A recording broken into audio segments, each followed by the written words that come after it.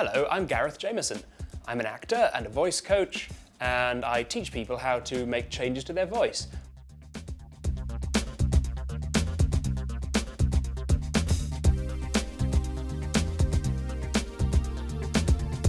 The key to doing any accent is to identify the specific sounds that only occur in that accent and identify it as different from other sounds. So, if you're doing the Geordie accent, and first of all I should point out that by Geordie here, I'm going to mean a very general northeast of England accent.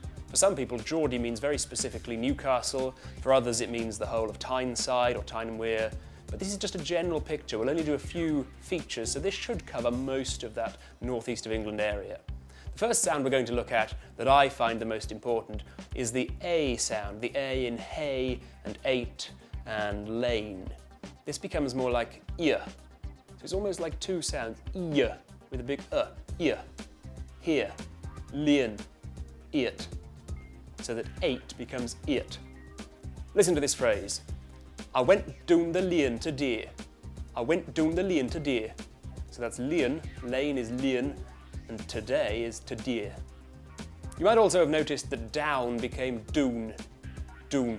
Now, this is a little stereotypical with the Toon Army and all that, town becoming toon, but it does actually happen, especially in more casual speakers, so that doon becomes, sorry, down becomes doon and town becomes toon. I actually went to Newcastle a lot in the past, in a previous job, and I will never forget being given directions to drive somewhere and told to gun reet round the roundabout. So I found that a really useful phrase. Sometimes when you're doing accents, it's good to have a phrase that helps you switch the accent on. Gan reet round the roundabout is the one that I use for Newcastle. Now the next one is words like brother and water and picture and shopper, words that end in er. Now in British, standard British English we use uh, brother. But in this Geordie Newcastle accent, it's much, much wider. Brother, wa'a, picture, shopper. Notice that wa'a as well. The T in the middle of water is changed completely, it's gone. It becomes a glottal stop.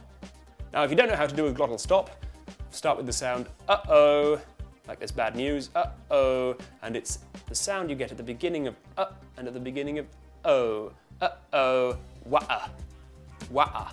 So we don't just want wah-ah, it's wah-ah, with a big break in the middle. That's the glottal stop.